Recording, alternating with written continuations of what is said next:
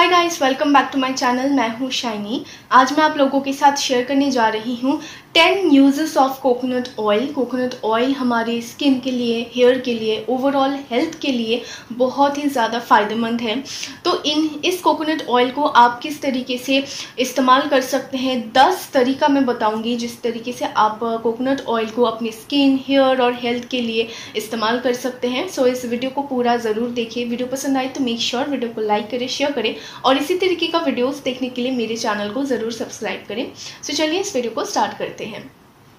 Coconut oil anti bacterial anti fungal anti carcinogenic anti inflammatory anti oxidant है और कई सारे बेनिफिट्स हैं कोकोनट ऑयल के हमारे हेल्थ के लिए, हमारे स्किन हेयर के लिए और coconut oil in fact blood sugar level को भी कंट्रोल करने में काफ़ी अच्छा है। तो कोकोनट ऑयल के ना बहुत सारे, सिर्फ़ दस ही नहीं, और भी कई सारे बेनिफिट्स हैं।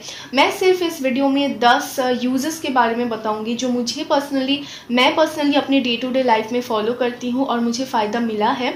और मैं जिस कोकोनट ऑयल को इस्तेमाल करती हूँ, वो है मेरिट विको कोकोनट ऑयल ये मैं बहुत महीने से इस्तेमाल कर रही हूँ एंड मेरी दीदी भी इसे इस्तेमाल करते हैं, मेरी मौसी भी इसे इस्तेमाल करते हैं, मौसी की बेटी भी इस्तेमाल करती हैं, क्योंकि जब मेरी दीदी की शादी थी, उस टाइम घर घर में गेस्ट्स आए थे तो सभी ने ये कोकोनट ऑयल ट्राई किया था एंड इतना ज़्यादा पसंद आया सभी को कि सभी ने मंगाना स्टार्ट किया एंड उसे इस्तेमाल करना स्टार्ट किया। बहुत ज़्यादा स्किन के लिए भी अच्छा है हेयर के लिए भी अच्छा है और ये एकदम प्योरेस्ट फॉर्म में है तो आप इसे कंज्यूम भी कर सकते हैं। तो इसका जो परचेजिंग लिंक है, वो मैंने डिस्क्रिप्शन बॉक्स पर प्रोवाइड किया है, आप मेरे डिस्क्रिप्शन बॉक्स को चेक कर सकते हैं। इससे पहले मैंने काफ़ी सारे ब्रांड्स के कोकोनट ऑयल ट्राई किया था बट इसमें और दूसरे कोकोनट ऑयल्स में जो फ़र्क है जो दूसरे मार्केट में अवेलेबल होते हैं कोकोनट ऑयल्स वो ड्राइड कोकोनट से बना होता है बट ये मेरिट विको कोकोनट ऑयल बना होता है टेंडर कोकोनट से मतलब जो मलाई होता होता है कोकोनट की उस मलाई से बनाई जाती है जि, जिसकी वजह से इसमें वो सारे प्रॉपर्टीज़ होते हैं। ये hundred percent extra virgin coconut oil है और बिल्कुल कोल्ड प्रेस्ड है। और इसका जो प्राइस है वो मैं स्क्रीन पर भी मैंशन कर दूँगी।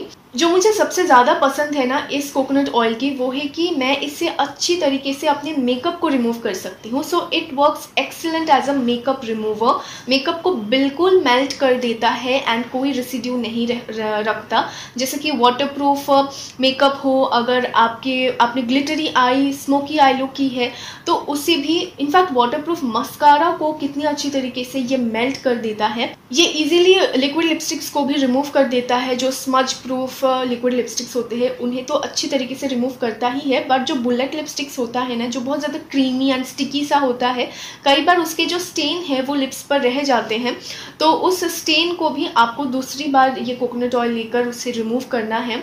तो दिस इज़ वेरी गुड और ये स्किन को बिल्कुल भी यू नो इफ़ेक्ट नहीं करता मतलब स्किन ब्रेकआउट्स वगैरह कुछ भी आप फेस नहीं करोगे this is the best part और आप अपने बच्चों के फेस पर जो भी प्रोग्राम्स या फ़ंक्शंस के लिए जो मेकअप इस्तेमाल करते हैं, उस मेकअप को भी आप इस कोकोनट ऑयल से इजीली रिमूव कर सकते हैं। स्किन के लिए बिल्कुल अच्छा है, क्योंकि मैं क्या करती हूँ मेकअप को रिमूव करने के बाद में इसे अपनी स्किन पर थोड़ी देर के लिए, एक दो मिनट के लिए छोड़ देती हूँ। तो स्किन बहुत ज़्यादा सॉफ्ट फील होता है। कई सारे एल्कोहल बेस्ड मेकअप रिमूवर्स भी मार्केट में मिलते हैं, जो स्किन को ड्राई आउट कर देता है which is not at all good for for our skin तो आप इसे इस्तेमाल कर सकते हैं मेकअप को रिमूव रिमूव करने के लिए, आप इसे एज अ बॉडी मॉइस्चराइज़र या फिर बॉडी लोशन की तरह भी इस्तेमाल कर सकते हैं। हर रात को सोने से पहले आप इसे अपनी बॉडी पे, अपने हैंड्स एंड लेग्स पे इस्तेमाल कर सकते हैं, अच्छी तरीके से मसाज कर सकते हैं। एंड सुबह जब आप उठेंगे तो आपके हैंड्स एंड लेग्स बहुत ज़्यादा सॉफ्ट हो जाता है।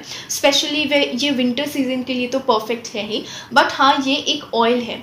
एकदम हंड्रेड परसेंट नेचुरल ऑयल है। तो इसमें थोड़ा सा ऑयलीनेस तो होगा ही। तो वो अगर आपको पसंद नहीं है देन आप अपने नॉर्मल बॉडी लोशन में दो या तीन ड्रॉप्स इसका लेकर उसे मिक्स करके अपने हैंड्स एंड फीट्स पर अप्लाई कर सकते हैं। उससे इसका जो बेनिफिट है, वो भी आपको मिलेगा और ऑयलीनेस भी नहीं होगा। डैंड्रफ को ये बहुत अच्छी तरीके से रिमूव कर देता है। आपको इस कोकोनट ऑयल को एक चम्मच लेना है और एक चम्मच लेमन जूस लेना है, जो कि डैंड्रफ के लिए भी काफ़ी अच्छा है। और उस मिक्सचर को अच्छे से मिक्स करने के बाद आपको उसे अपने सिर्फ़ स्कैल्प पर अप्लाई करना है। तो इसे आप आधा घंटा के लिए रख दीजिए, उसके बाद आप शैम्पू कर लीजिए। तो ये डैंड्रफ की प्रॉब्लम को एक महीने में डेफिनेटली रिड्यूस कर देगी।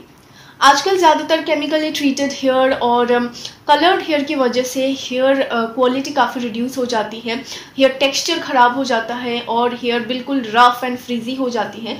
तो ये रफ़ एंड फ्रीजी हेयर को बहुत अच्छी तरीके से सॉफ्ट एंड स्मूथ बनाता है। आपको वीक में दो बार इससे अच्छे से अपने हेयर uh, पर चंपी करनी है स्कैल्प पर इसे अप्लाई करना है अपने हेयर लेंथ पर अप्लाई करना है। बट एक टिप मैं दे सकती हूँ जब आप इसे अप्लाई करेंगे एज अ हेयर ऑयल तो आप इसे थोड़ा सा वार्म करके अप्लाई करें तो ये और भी अच्छी तरीके से आपके स्कैल्प में पेनिट्रेट होता है और इसके बेनिफिट्स आपको और भी जल्दी मिल मिलेंगे। सो so, ये मैं पर्सनली फॉलो करती हूँ वीकली टू टाइम्स मैं इससे अच्छे से अपने स्कैल्प पर मसाज करती हूँ अपने हेयर लेंथ पर मसाज करती हूँ तो और मेरे हेयर बहुत ज़्यादा सॉफ्ट फील होते हैं जब मैं इसे इस्तेमाल करने के बाद शैम्पू करती हूँ तो काफ़ी अच्छा है, आप एक बार ज़रूर ट्राई कर सकते हैं। एंड ये बहुत ज़्यादा अफोर्डेबल भी है। In fact one ninety nine rupees का आप जो सैंपल साइज़ जो होता है ना, इतना सा, वो भी ट्राई कर सकते हैं। जब आपको वो पसंद आएगा तो आप बड़े में इन्वेस्ट कर सकते हैं। स्किन को मसाज करना बहुत ज़्यादा इंपॉर्टेंट है ब्लड सर्कुलेशन को इम्प्रूव करने के लिए, ताकि स्किन पर एक अलग सा ग्लो आए स्किन टाइटन हो रिंकल्स फेड आउट हो। तो मैं क्या करती हूँ शावर लेने से पहले पाँच मिनट या दस मिनट पहले मैं अपने स्किन को एक दो मिनट के लिए अच्छे से मसाज करती हूँ। और फिर इस कोकोनट ऑयल से मैं मसाज करना पसंद करती हूँ और इसे मैं पाँच दस मिनट के लिए वैसा ही स्किन में छोड़ देती हूँ। आपको सिर्फ़ फेस पर ही नहीं नेक पर हैंड्स पर भी इससे मसाज करना है। ये बहुत अच्छा है, आपके स्किन सेल्स को सॉफ्ट बनाने में और स्किन को in you know skin radiance को इन्हांस करने में। और उसके बाद आप नॉर्मल शावर ले लीजिए तो बहुत ज़्यादा स्किन सॉफ्ट एंड सप्पल हो जाती है और रेडियंट भी दिखती है। आप सिर्फ़ अपने स्प्लिटेंस पर इसे अप्लाई कर सकते हैं। एक, दो ड्रॉप्स लेके रात को सोने से पहले सिर्फ़ अपने स्प्लिटेंस पर इसे अप्लाई करें तो ये स्प्लिटेंस की प्रॉब्लम को बहुत जल्दी रिड्यूस कर देता है। बॉडी स्क्रब के लिए भी कोकोनट ऑयल काफ़ी अच्छा है। चावल का जो आटा मिलता है ना नॉर्मल घर पे अवेलेबल होता है, उस चावल के आटे के साथ आप एक चम्मच ये कोकोनट ऑयल मिक्स कर दीजिए एंड उससे अपने बॉडी को स्क्रब करके फिर आप शावर ले लीजिए। तो बहुत अच्छे तरीके से ये स्क्रब करता है डेड स्किन सेल्स को रिमूव करता है और कोकोनट ऑयल की वजह से ये स्किन को सॉफ्ट बनाता है।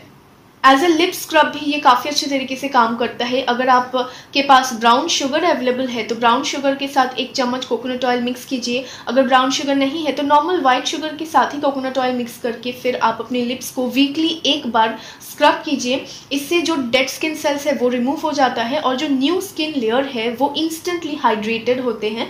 जिससे कि वो न्यू स्किन लेयर बहुत जल्दी जब वो एटमोसफियर के कॉन्टैक्ट में आता है तो ड्राई हो जाता है। तो वो ड्राइनेस नहीं होती, क्योंकि कोकोनट ऑयल आपने मिक्स किया है स्क्रबर के साथ। कोकोनट ऑयल काफ़ी अच्छी तरीके से मॉइस्चराइज करता है आपके लिप्स को और लिप्स पिगमेंटेशन को भी रिमूव करने में काफ़ी हेल्प करता है।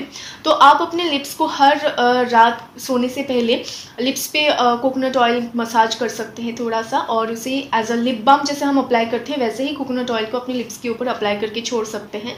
इससे क्या है कि लिप्स सॉफ्ट बनते हैं एंड लिप पिगमेंटेशन भी ये हेल्प करता है रिमूव करने में। So yeah guys that's it for today's video I hope ये दस फ़ायदे जो मैंने बताए हैं इस मेरिड विको कोकोनट ऑयल के, इससे आप सबको हेल्प हुई है और अगर आप इस कोकोनट ऑयल को परचेज करना चाहते हैं तो डिस्क्रिप्शन बॉक्स पर मैंने लिंक प्रोवाइड किया है।